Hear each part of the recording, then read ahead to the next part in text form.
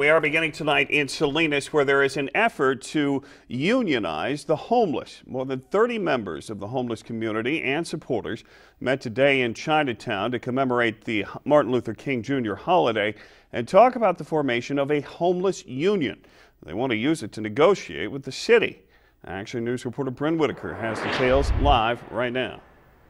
Dan, the group used Martin Luther King Jr. Day as a jumping off point to talk about homeless issues. They even noted that one of MLK's goals was to end poverty, and they think that he would have stood with them today.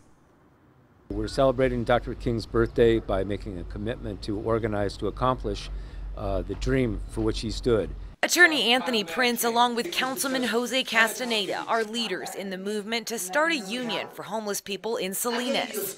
Castaneda says the group is working with the National Union of the Homeless to open up an office in Salinas' Chinatown area.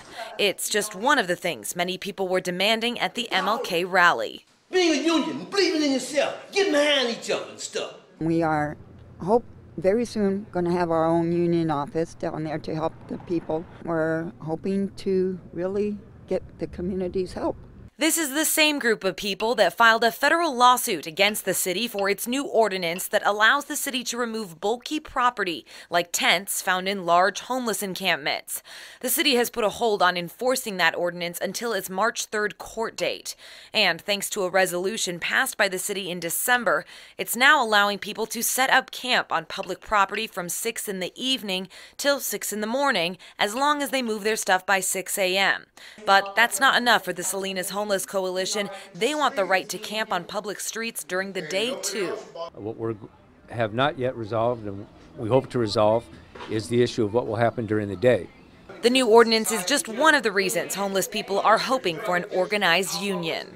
There's issues, of course there's issues, but they should be addressed and there should be somebody, um, like you say, in charge of addressing those issues. Now, Castaneda says they're in the very early stages of forming this union. They would need an official designation from the National Union of the Homeless. And now the founders from the National Union of the Homeless, they are set to come to Salinas very soon and speak with Castaneda. Dan? All right. Thanks very much, Bryn. The city, meantime, says it will suspend the sweeps and confiscation of personal belongings of the homeless until March the 3rd, the day that the city heads to federal court for a preliminary hearing.